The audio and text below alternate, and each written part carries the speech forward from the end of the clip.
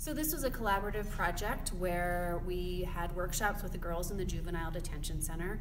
Lead artist uh, Haley Greenfeather worked with the girls in the detention center to come up with projects circled around um, where I've been, where I am, and where I'm going.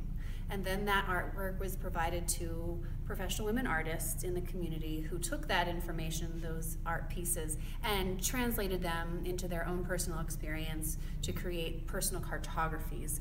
And cartography is the art of map making. And so each woman interpreted that in their own way and created works of art on these large scale panels like the one behind me.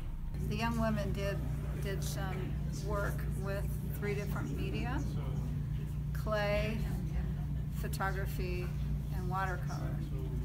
And the clay represented, they were thinking about where um, their kind of happy place from their past, something that they could, you know, remember that was important. The photography was their current um, situation.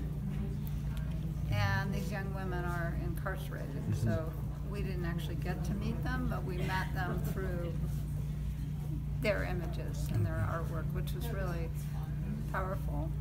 And then the watercolor represented their idea of their grandmother self.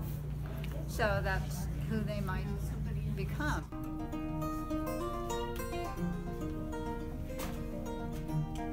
Life